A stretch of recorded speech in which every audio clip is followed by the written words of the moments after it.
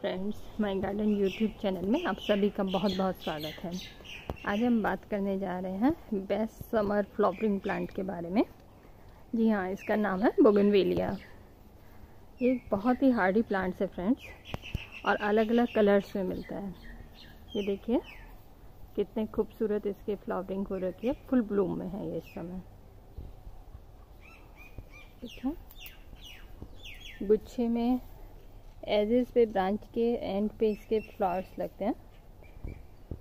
देखिए। अलग अलग कलर्स में जब ये खिलते हैं तो इसकी छटाई बिल्कुल निराली होती है। ये कलर बहुत कलर्स में बहुत वैरायटीज़ में मिलते हैं फ्रेंड्स एक डिफरेंट कलर है लाइट पर्पल ये देखिए।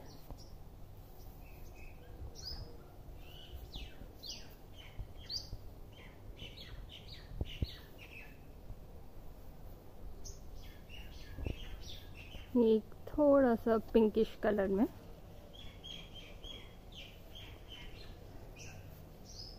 इन फ्लावर्स की फ्रेंड खासियत ये है बोगिनविलिया की कि it's a very hardy plant इसको बहुत ही कम केयर की ज़रूरत होती है।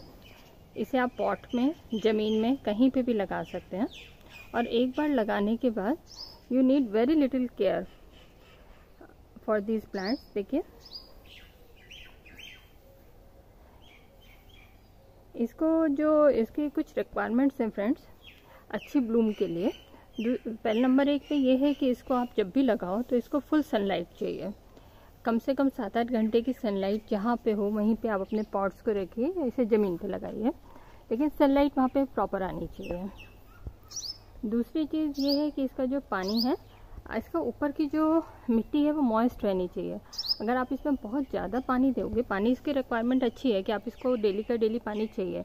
लेकिन आप पानी अगर बहुत ज़्यादा देंगे तो इसमें पत्तियाँ जो है बहुत ज़्यादा बनती हैं और फ्लावरिंग कम होती है। ये देखिए, इसमें पत्ती काफ़ी कम है। तभी जो है वो फ्लावर्स इतने अच्छे खिले हुए हैं।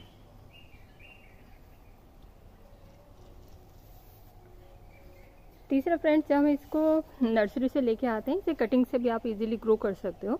लगाने के लिए जो इसमें गार्डन जो मिट्टी हमें चाहिए, उसमें हमें चाहिए thirty percent garden soil twenty percent vermi compost और फिफ्टी परसेंट कोकोपीट इसे लगाइए आप और फिर इसको रेगुलर वाटरिंग करिए।